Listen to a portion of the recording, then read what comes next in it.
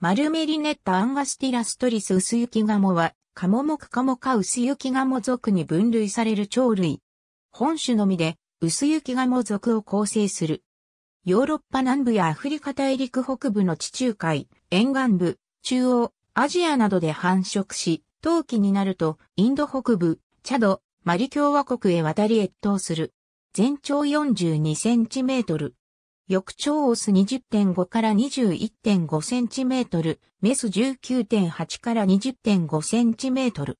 全身の羽衣は褐色や灰褐色で泡褐色や炭鉱色の斑紋が入る。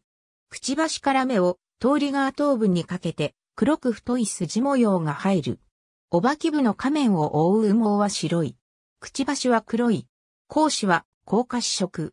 足などが岸辺に繁茂した故障に生息する。小規模な群れを形成して生活する。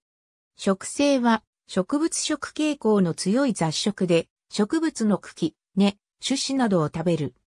種子は水面で採食するが、水生植物の茎や根、泥中にいる獲物は逆立ちしたり潜水しながら採食を行う。